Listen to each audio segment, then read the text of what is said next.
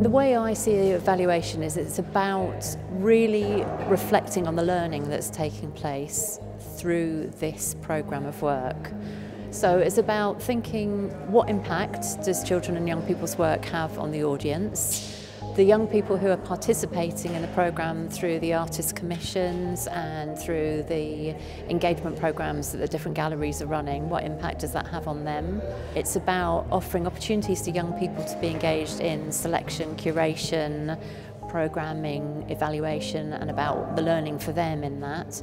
So it's about looking at the learning for all the different people involved but really using that to improve the experience each time the exhibition moves on to a new venue.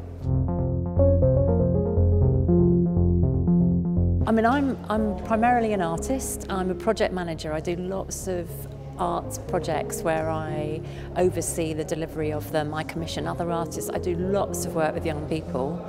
Um, and I've always evaluated my own practice because I do a lot of reflection on what works, what doesn't work, and how I can improve things. And then I can't even remember when it started, but years ago somebody asked me if I would evaluate a project that they were working on. And I'm also a photographer, so I was using photography and evaluation hand in hand. And then that became a really effective model, and people started to invite me to do that more. And I now, people call me an evaluator and it's like, oh, am I? so, yeah.